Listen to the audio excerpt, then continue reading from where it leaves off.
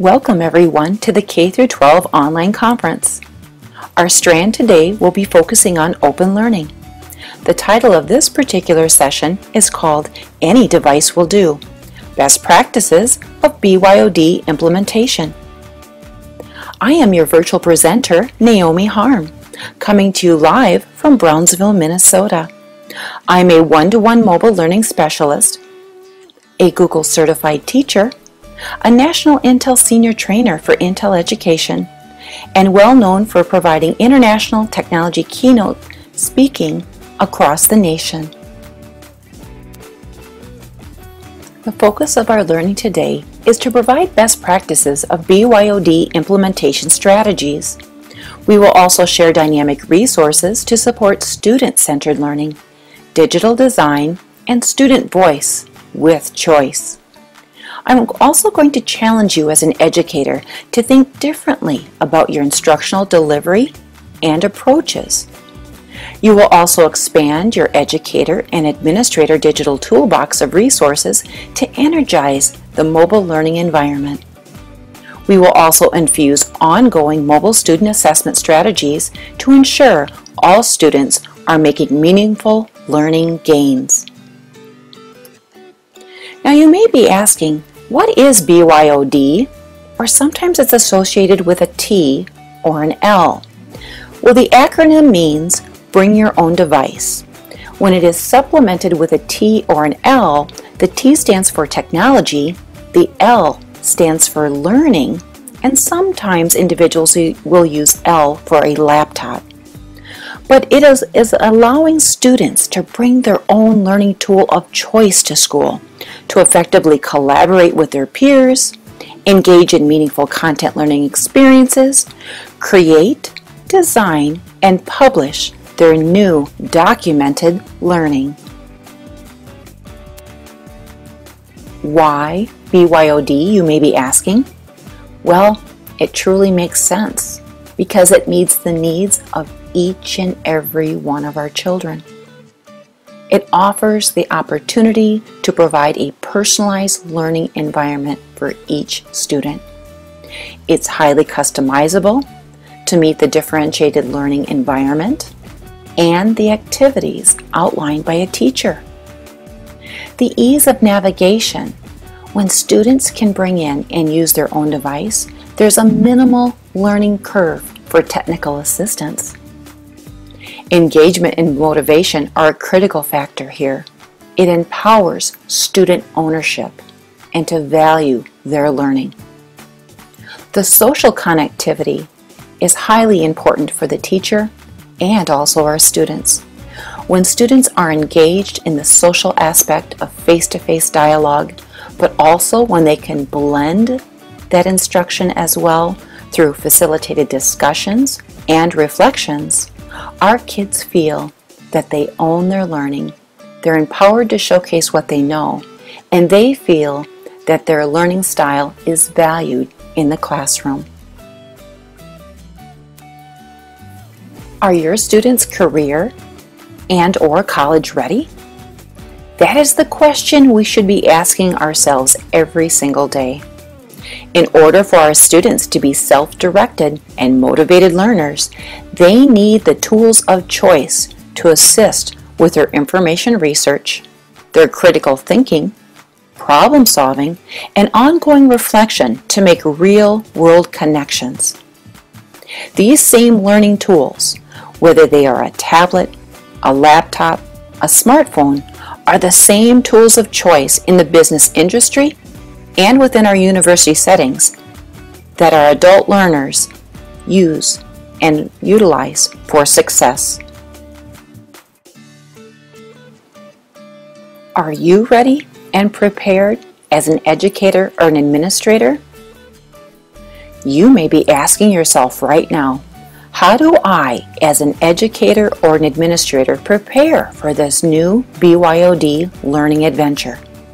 And how do I know that these BYOD learning opportunities are truly impacting each and every one of my students? Reality is, teaching and learning in a BYOD mobile environment does take work. An educator needs to be highly organized with their content, their preparation, and the delivery while being consistent and structured with their classroom management style and delivery. Most teachers that venture into a BYOD teaching and learning environment love the new technology challenges and the teaching rewards of the design time for creating compelling lessons and assignments with their colleagues to finally meet their students' individualized learning needs and interests. This new type of empowered teaching and learning for educators allows them to truly take ownership in creating new and inspiring learning activities. It adds so much energy and life to stagnant lessons and especially flourishes more meaningful and social connections and critical conversations between their students. The above resources listed will guide you with getting started with designing compelling lessons and assignments for your students. All resources will be shared with you once again in my resources cited section at the end of this webinar and as an e-handout. Effective and collaborative communication are the most critical factors that will impact a BYOD implementation effective and seamless collaboration and communication with your IT and administration teams is key. This will ensure that you have the correct AU AIPs. Yes, I said it. It's a new acronym.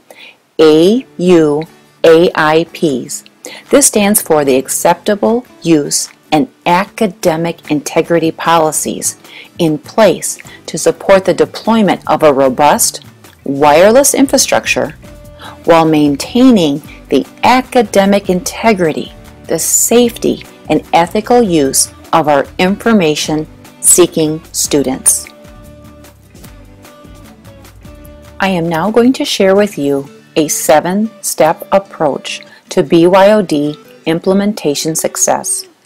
The seven steps will include what's your purpose, classroom management, mobile ongoing assessments, digital citizenship, collaborative learning centers, student choice, voice, and student leadership, and how to create compelling lessons and assignments to engage all learners.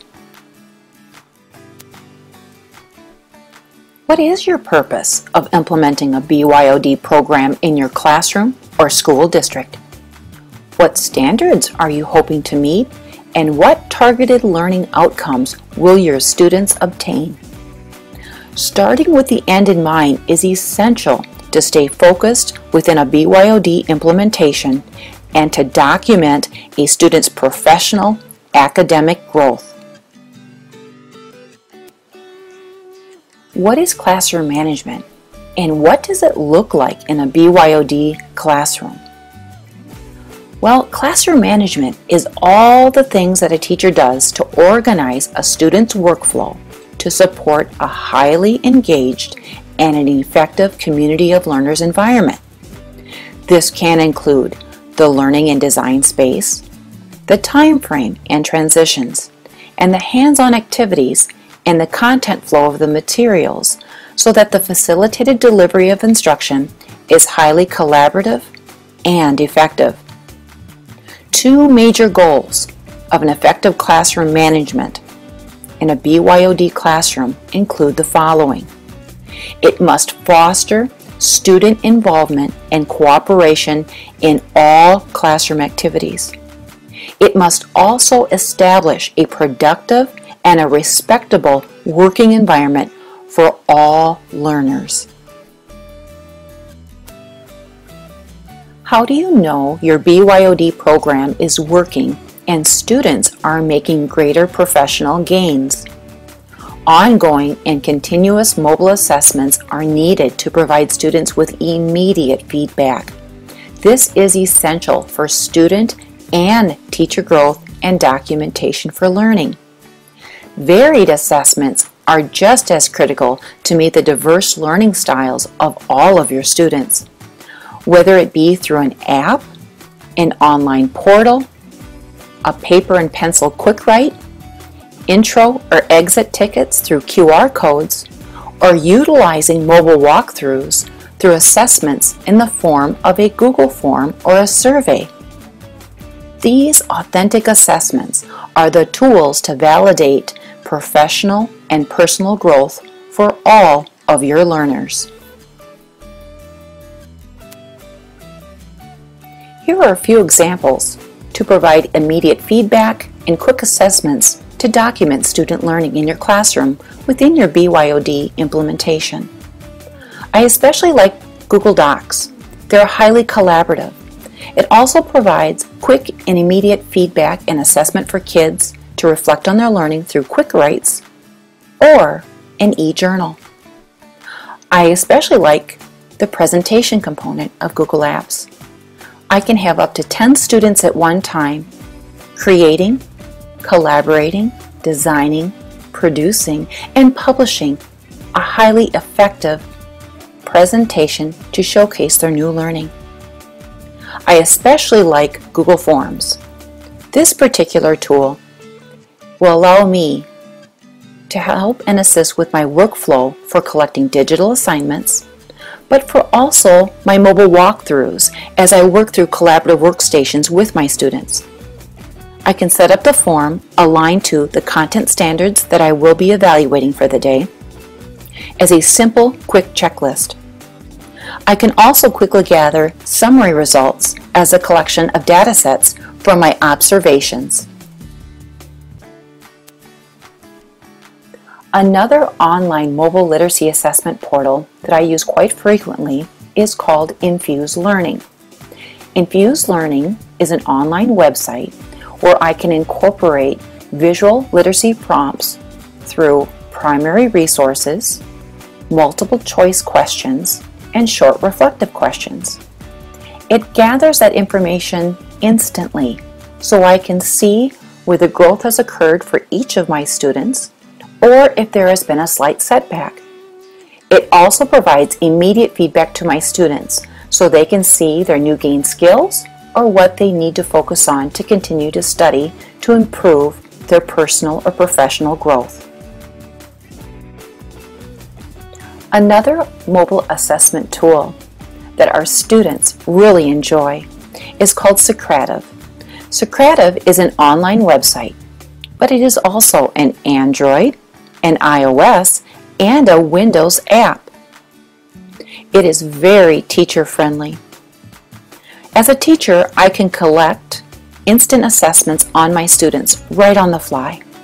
It allows me also to set up multiple choice, true false, short answers, intro and exit tickets, and to provide an instant poll to gauge on the student's learning for the day.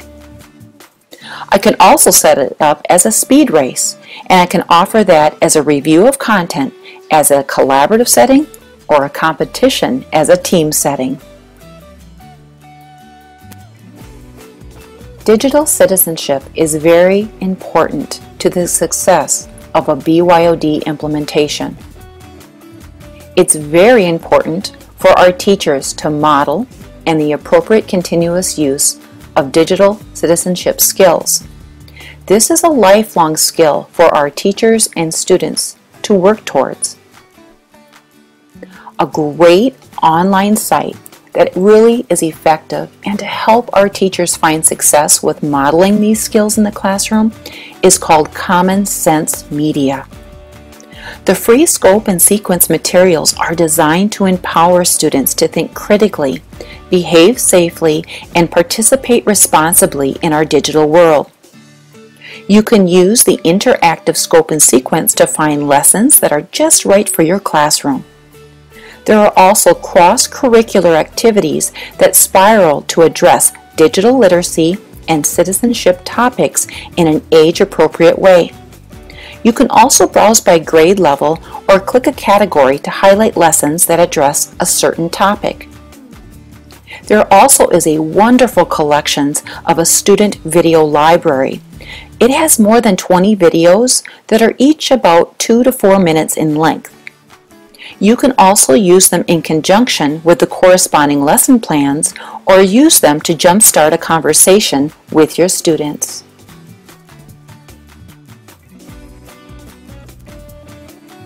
Collaborative Learning Centers are critical to the BYOD implementation so students can work within critical thinking and design teams.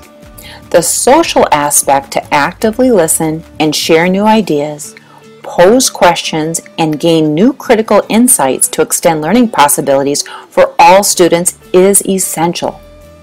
My motto is Together we are better.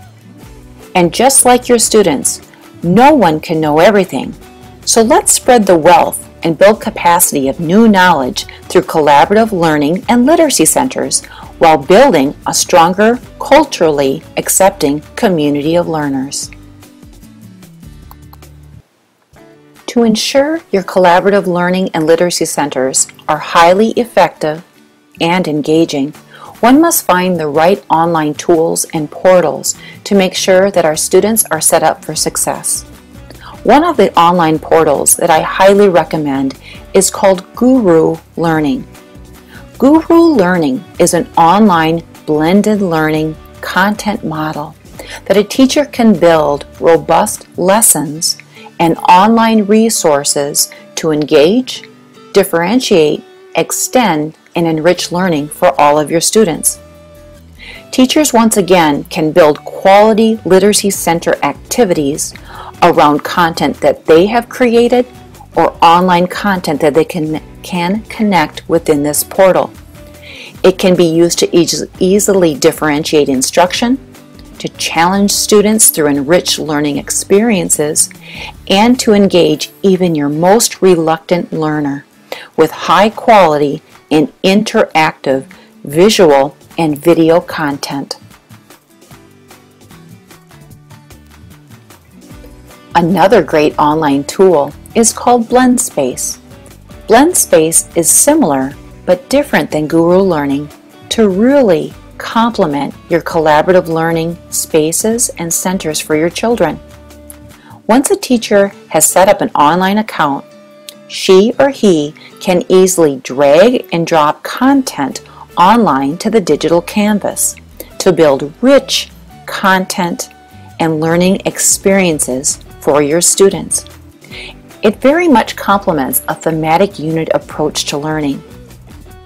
The example above that I have captured to showcase is from Rafans Davis on her BYOD in her secondary math classroom. Student choice, voice, and leadership are essential attributes for a successful BYOD program. Across the nation, students are adapting emergent technologies and new and innovative ways for learning. As part of the National Speak Up Day survey project from 2002, known as Project Tomorrow, the National Education Nonprofit Organization, students are asked to predict what school would be like by the year 2015 or 2017. What would going to school be like? would learning be different? What would be the role of the teacher? The provided link above will offer you prime examples of needs and learning outcomes students have requested of how they have stated how they learn best. BYOD is an essential strategy and a strong contender that most students have already identified as an opportunity for them to learn best by 2015. A great student choice activity is known as the differentiator. It is an online tool. It also works with any device. The learning outcomes are highly creative, dynamic, and engaging. This activity will lead to on task and motivational behavior in your classroom by optimizing choice of a student digital project. But what's most important here, it's aligned to content of Bloom's taxonomy and a standards alignment to create compelling assignments and lessons. I have many teachers utilizing this tool to actually offer varied activities with student teams and groups. You'll have the opportunity that when this is created, that students have a choice of working as a singleton, or they can work as dynamic duos, transformative trios, or within quads to create a dynamic digital project to showcase their new gained skills and their new learning. I have already mentioned this several times throughout this webinar presentation that a teacher, by designing, creating, and delivering compelling lessons and assignments, will aid to the success of a BYOD successful implementation. Most teachers that venture into a BYOD teaching and learning environment love the new technology challenges and the teaching rewards of the design time for creating compelling lessons and assignments with their colleagues to finally meet their students' individualized learning needs and interest. This new type of empowered teaching and learning for educators allows them to truly take ownership in creating new and inspiring activities. It adds so much energy and life to stagnant lessons and especially flourishes more meaningful and social connections and conversations between their students. I am now going to provide you with several tools of choice that will complement your BYOD program. Why I'm offering these many different tools is because not every tool will meet your students' needs or their type of learning tool that they've brought in. So this first example is called DNA, Design Neutral Activities. Very creative name, I thought. But as part of this, it's basically choosing the best app to get the job done. The DNA means again design neutral, meaning it doesn't matter if a child brings in a tablet, if he brings in a netbook, if he brings in a laptop, or he brings in a smartphone. There is a tool of choice to allow for maximizing and offering the accessibility to the learning environment.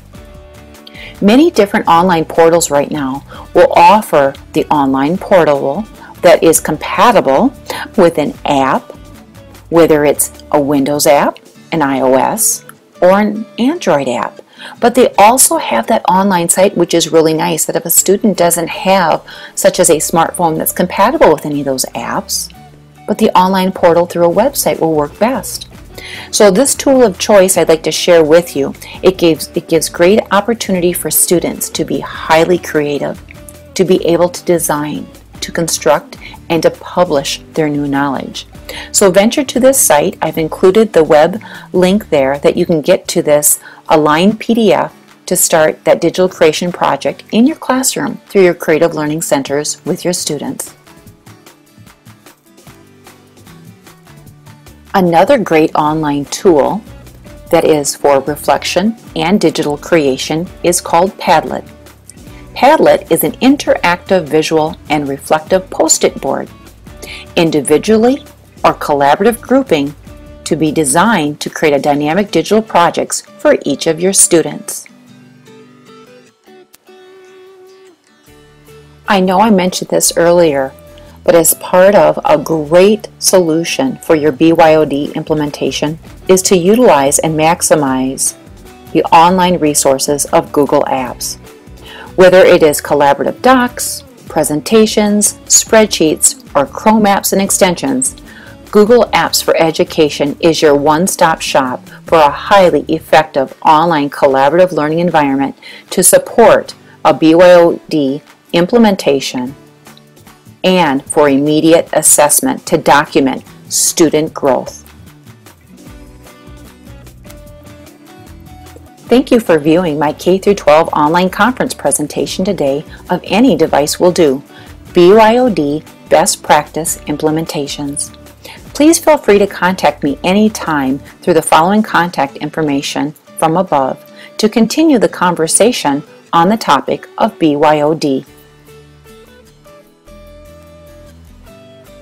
As promised, here are my resources cited page for a successful BYOD implementation. These resources will also be provided through an e-handout through the provided link on the slide. Thank you once again for your time and dedication to grow professionally through the 2013 K-12 online conference this year.